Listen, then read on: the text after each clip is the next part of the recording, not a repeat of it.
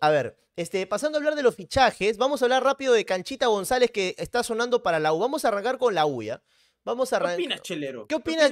Chelero, ¿qué opinas de que Canchita González, después de que te dijera, Chelero, tú eres mi gran amor, desde que te conocí olvidé a mi ex, yo te amo a ti, Chelero, ahora se viene a jugar a la U? No, mano, Después de esta publicación. Chelero, a ver, ya es prácticamente un ¿Qué puso, hecho. Mira, no, Chelero, te voy a romper el corazón. Bueno, No, pase, pase filtrado dice que empiece la función Canchita González. Ya es nuevo refuerzo de la U para el centenario. Luego tenemos esta historia de, Can- de Edison. No, ya con esto está confirmado. No, man. Ya está confirmado. No, Ya está confirmado. Ya, ya está confirmado, huevón. Y se junta el tridente de canteranos de la U. Estos deben ser los tres mejores jugadores que ha la- sacado la U en el último tiempo, sin dudas. Canchita González, El Oreja Flores y Andy Polo. Ahí está. Ahí está. Eso, eh, ¿Qué opinas de eso, este es- para el centenario, la U reúne a tres de sus mejores canteranos de los últimos tiempos. Bueno, Quispe ya no está porque se quitó. Y Ruiz Díaz no, pu- no pudo volver porque ni cagando va a renunciar a toda la plata que gana en Estados Unidos. O sea, no lo juzgo. Eh, pero de sus cinco mejores canteranos, la U ha logrado reunir a tres.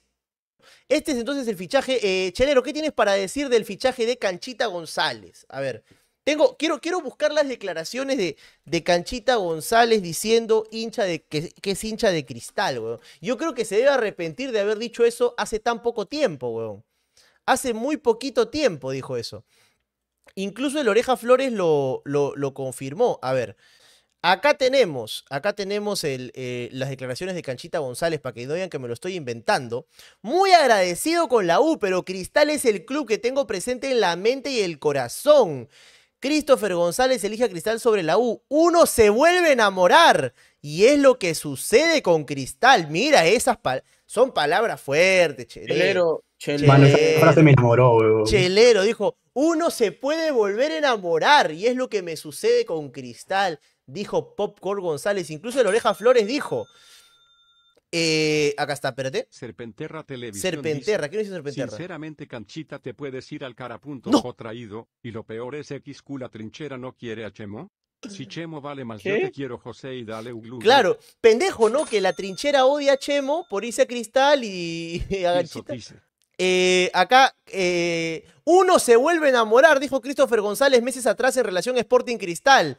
Y acá dice, este, Cristal me dio la oportunidad de volver a un club grande, apostó por mí y es el club con el que también me identifico. Me marcó muchísimo, chelero, déjame decirte que... Oh, Ay, chelero, déjame decirte que... Mano. Chelero. Chelero, déjame decirte que te mintieron, chelero, en la cara. Eh, y acá el Oreja Flores dijo, Canchita dice que es de cristal, dice que encontró un nuevo, un nuevo amor. Más de la UE, más de la UES, no sé qué ha pasado con él, dice el Orejita Flores, que ahora es el responsable de postear esta foto anunciando la vuelta de Canchita, de Popcorn González. Acá dice, Chelero, solo fuiste usado. Chelero, solo fuiste el polvo de una noche. No, Chelero. No, Chelero. No, Chelero. Chelero ahora, ahora mismo Chelero se siente sucio, weón. Lo han Es usado. que, mano, no solo eran sus palabras, weón, también eran sus acciones, mano. ¡Ah, porque- no.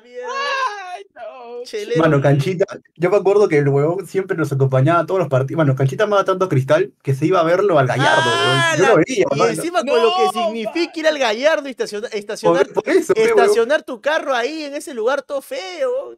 madre. Horrible, caquete, es horrible. weón. Mano, yo lo vi en la tribuna, weón, y me enamoré, man. Ala, Me ilusioné te- mucho, Acá dicen que Chelero te engatusaron, Chelero, no puede ser. Canchita de descuido. Fuiste solo un polvito, Chelero. Ah, la mierda, weón. Mano, Regresó con su ex.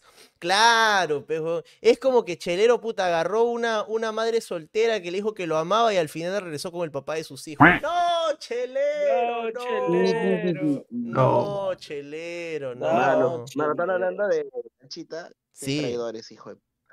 No, Serpenterra hincha de la U, ¿ah? Serpenterra hincha de la U. Yo voy a decir eh, Serpenterra. Pero hablaron de Chemo, pues hablando lo de Chemo. Bueno, Chemo del Solar, que llegó a ser ídolo en la U, le hicieron una banderola diciendo que era el hincha que se metió a la cancha. a, a- a Chemo del Solar lo, este, lo tildaron de traidor en la U porque se fue a dirigir a Cristal y salió campeón con Sporting Cristal, no como jugador, sino como técnico, ¿no? Y pues la trinchera norte jamás le perdonó eso, pese, pese a que, pese a que Chemo eh, después regresó como, como director, como director técnico a la U, si no me equivoco, en el año 2010, pero ya no, ya no fue bien recibido, ¿no? Ya en la trinchera ya Chemo no lo quería y la relación con la U se rompió. O sea, pasaron de esto, de el fanático que se metió en la cancha y una bandera con su cara al lado de Lolo y el Puma. Eh, y abajo ya vemos que dice nosotros por la U, el Chemo, por el dinero. Ahí con su signo de dólar para que quede claro, ¿no? Y siendo que Chemo fue un tipo que en algún momento llegó a jugar, creo que hasta gratis por la U, cuando de forma muy extraña la U no le pagaba a su gente. Y, y ¿Quién lo Chemo- diría? ¿Quién lo diría?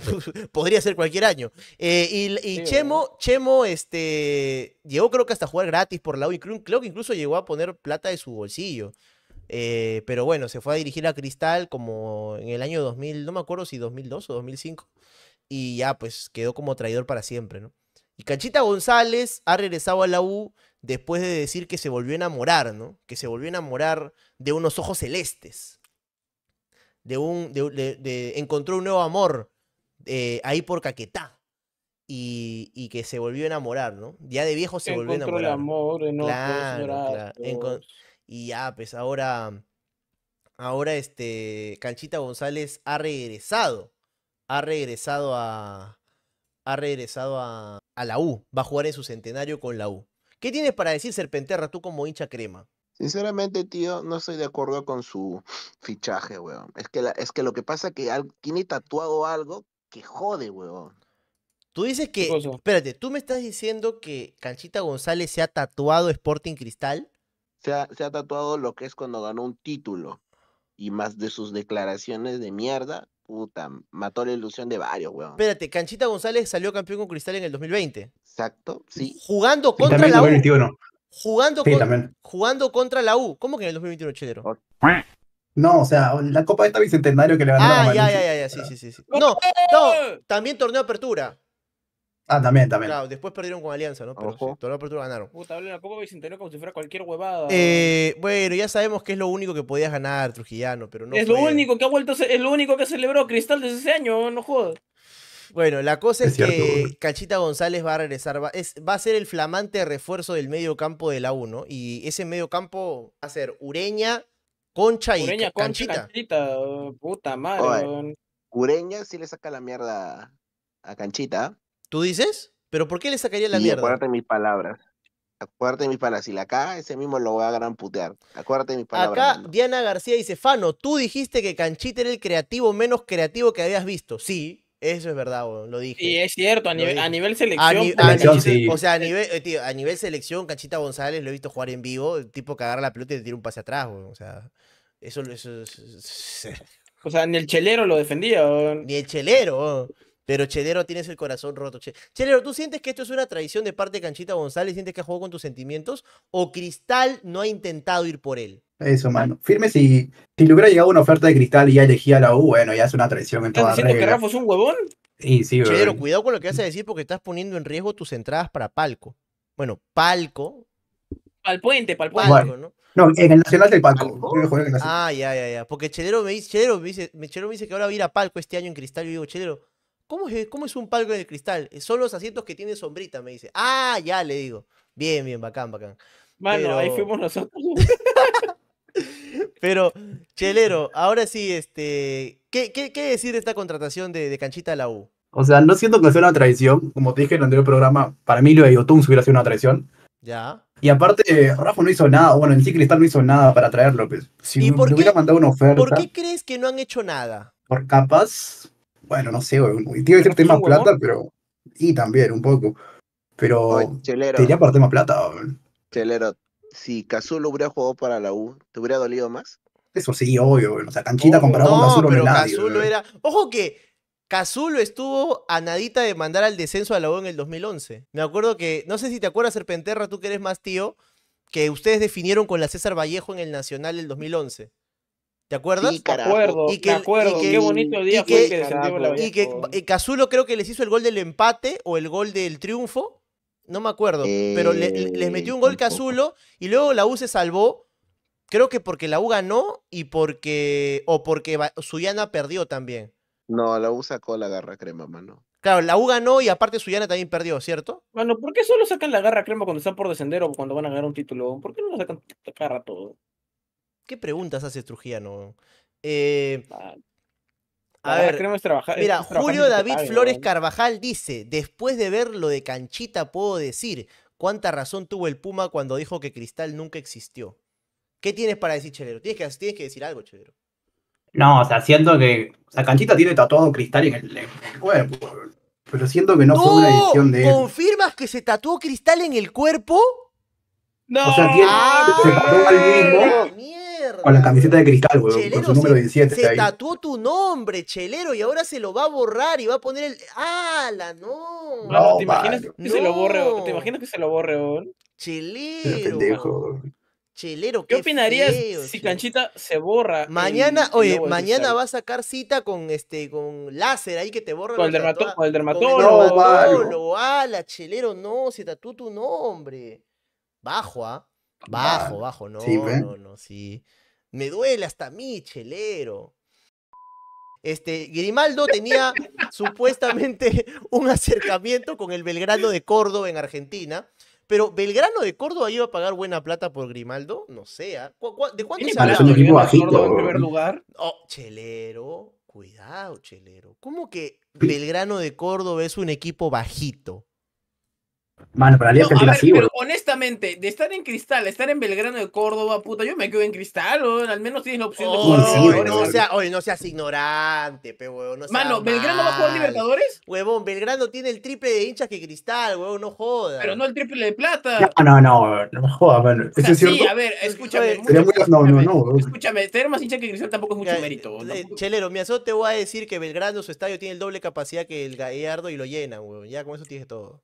Eh, Ah, sí, su mano. Me la ha bajado mucho, weón. Aparte de Belgrano Pero, salieron. De Belgrano hace poco Vegetic, siendo viejo, salió goleador, se fue a Vasco da Gama.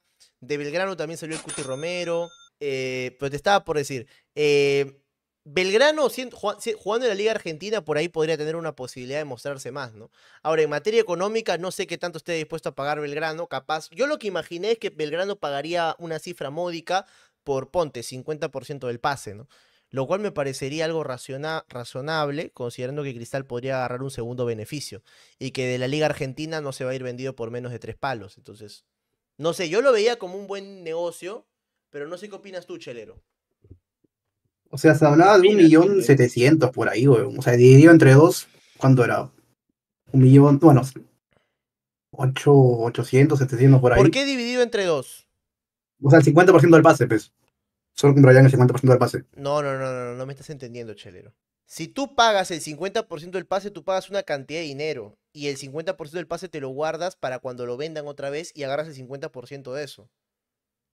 Ah, chucha. O sea, si tú pagas 1.700.000 por el 50% del pase, no significa que pagas la mitad de 1.700.000. Significa que tú estás pagando 1.700.000 por la mitad de ese jugador y cuando vendas a ese futbolista, ponte que lo, ve- lo compras en 1.700.000, el 50% del pase y en unos años lo vendes en 5 millones.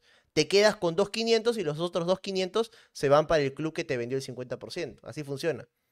Ya, bueno, pero igual no veía a Belgrano pagando ni siquiera un millón y medio, weón. Sí, Porque o Considerando sea- la Liga Argentina, su economía, no lo veo, weón. Que tampoco, hace, hace- oye, ¿verdad? Hace poco, espérate, hace poco vi un, bueno, capaz es la realidad de un equipo mucho más humilde, ¿no? Pero les quiero mostrar lo que declaró un técnico de la Liga Argentina. Bueno, esto declaró el DT de Sarmiento, de club de, un club humilde de la Liga Argentina. No podemos competirle económicamente a la Liga Guatemalteca. Yo quise fichar a Alejandro Medina y no pudimos competirle al Municipal de Guatemala. Sergio Rondín, entrenador de Sarmiento de Argentina. Micio, peón. Imagínate, peón. Imagínate, pues. Mano, ¿por qué a Guatemala? Pero entiendo que la economía de Belgrano, siendo un equipo muy el- un equipo importantísimo de Córdoba y el clásico rival de Talleres, entiendo que es una economía distinta, pero entonces capaz que sí había plata, pero al final se cayó, ¿no? Lo de Grimaldo, de este chelero. A mí me pareció un buen negocio, ¿ah? Y no sé, weón, pero o sea, lo que me han dicho a mí la interna es que habían llegado a un acuerdo, pero cuando estaba a punto de darse, según el lado o el, o el sector de Grimaldo, o sea, su entorno dijo que iban a tomarse un tiempo, un break, weón, para analizar más Ah, ofertas mira. que venían del extranjero. Puede ser, escúchame, Chelero, no le, no le auguro mal ni nada, pero puede ser que le pase lo que pasó con Celi. No sé si saben lo que pasó con Celi. Sí, sí, Ah, sí, ¿cómo sí. le metimos la A rata a Celi- Celio? A Ce- ¿Cómo que le metiste la rata a Celi? Oye, Trujillano, un poco de respeto, huevón. Perdón, perdón. Perdón, ¿cómo le metimos la rata a la U con Celi? Celi tuvo una oferta de Racing para jugar en Racing, pero no la aceptó porque económicamente era una oferta muy tela. Muy, pero muy tela. O sea, él en Cantolao ganaba más plata de lo que Racing le ofrecía.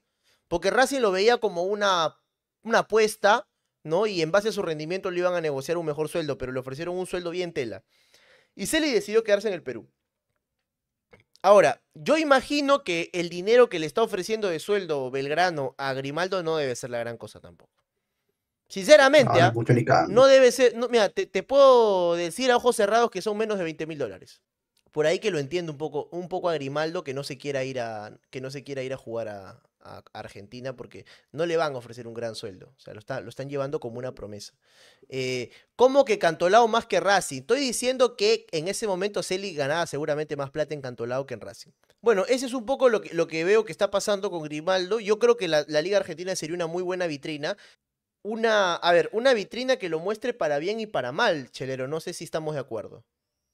O sea, sí, lo puede, lo puede quemar tranquilamente, Lo- se puede quemar tranquilamente, o sea, estamos de acuerdo. Yo, yo por eso puse un tuit ayer, o sea, si Grimaldo es bravo y la rompe en Argentina, ya está. O sea, se va un, Edgardo Vázquez dice. Fano la uva por Guerrero. No creo, pero habrá que. No, no creo, la verdad. Este. Bueno, estaba diciendo, yo dije, ¿no? Ayer, si Grimaldo va a Argentina y la rompe, puta, es bravo y te apuesto que va, va a firmar un contrato importante en Brasil, por ejemplo, ¿no? Porque a los mejores de Argentina se los llevan a Brasil. Lo cual no está mal, ¿ah? Yo te digo, Brasil como destino futbolístico es mejor que varias ligas de Europa. O sea, yo prefiero que un futbolista se vaya a brillar a Brasil que a Portugal, por ejemplo, ¿no? Porque Portugal, salvo que juegue Porto Benfica o Sporting de Lisboa, está jugando en equipos medio pelo, ¿no? Yo creo que la Liga de Brasil es mucho más competitiva que la de Holanda, por ejemplo. O la Liga de Bélgica. O sea, tú me dices, ¿dónde, ¿dónde prefieres que brille Grimaldo? En Brasil, antes que en, que en esas ligas.